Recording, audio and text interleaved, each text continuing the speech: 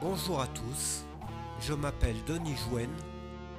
Cela fait 35 ans que je fais de la musique et j'ai fait une formation de 5 ans à l'American School de Paris. Ce cours est sur le mode augmenté. On le trouve sur le troisième degré de la gamme mineure harmonique. Dans chaque mode, il y a une note caractéristique.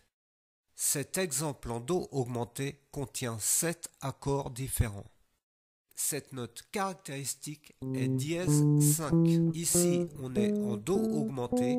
La note caractéristique sera Sol dièse. L'accord du premier degré, nommé accord de tonique, confirme le mode. Dans ce mode, il contient aussi la note caractéristique. D'autres accords, comme le troisième degré, contiennent aussi cette note. On les nomme accords de cadence. Le sixième degré mineur, La, Do, Mi, devient un accord de cadence si on lui rajoute une septième. La, Do, Mi, Sol dièse.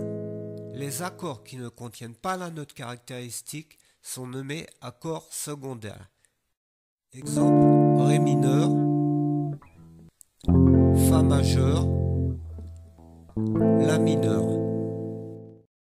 Il existe un quatrième type d'accords, les accords à éviter.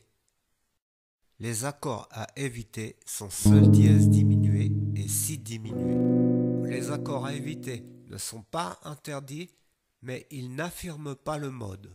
Le cinquième degré, Sol dièse diminué, est un accord à éviter, pourtant il contient la note du mode.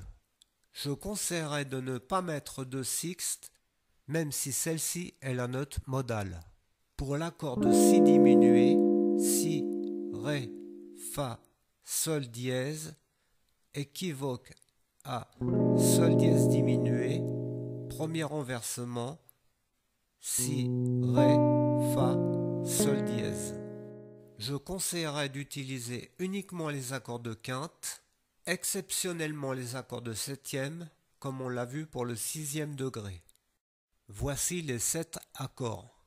Do augmenté, Ré mineur,